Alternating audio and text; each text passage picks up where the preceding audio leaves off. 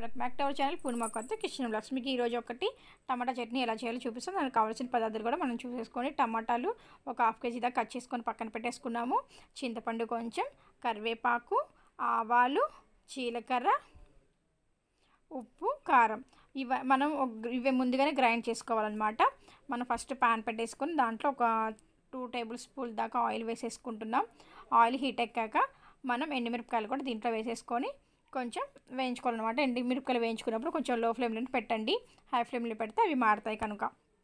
అలాగే దీంట్లో మనకు ఒక రెండు టేబుల్ స్పూన్ దాకా మనం తాలిం గింజలు వేసుకుంటాం. ఎందుకంటే పచ్చడి కాబట్టి తాలిం గింజలు ఉంటే ఆ ఫ్లేవర్ అనేది చాలా బాగుంటుంది. టూ టేబుల్ స్పూన్ దాకా మీరు తాలిం గింజలు యాడ్ చేసేసుకొని బాగా మిక్స్ చేసుకోవాలి. ఇలా మిక్స్ చేసుకున్నాక దీంట్లో కొంచెం కరివేపాకు వేస్తున్నాను.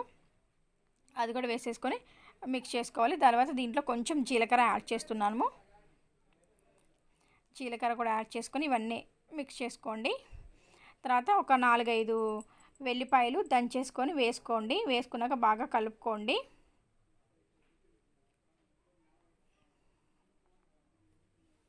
ఇలా కలుపుకున్నాక దీంట్లో కొద్దిగా ఇంగువ వేస్తున్నాను. ఇంగువ వేసుకొని కొంచెం మిక్స్ చేసుకోవాలి. మనం ఇందాక టమాటాలు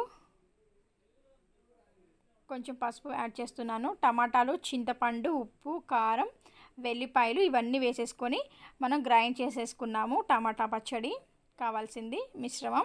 ఇప్పుడు ఆ టమాటా మిశ్రమం దీంట్లో యాడ్ చేస్తున్నాను. చాలా సింపుల్ ప్రాసెస్. ఒక త్రీ మినిట్స్లో అనేది మనకి రెసిపీ తయారవుతుంది. ఇలా మిక్స్ చేసుకుని స్టవ్ ఆఫ్ చేసుకుంటే మనకి టమాటా పచ్చడి అనేది రెడీ అవుతుంది. ఇది వన్ మంత్ వరకు మనకి నిల్వ ఉంటుంది. మీరు కూడా ఒకసారి ఈ- సింపుల్ ప్రాసెస్ ట్రై చేసి మీకు ఎలా వచ్చిందనేది కామెంట్ సెక్షన్లో కామెంట్ చేయండి. Take care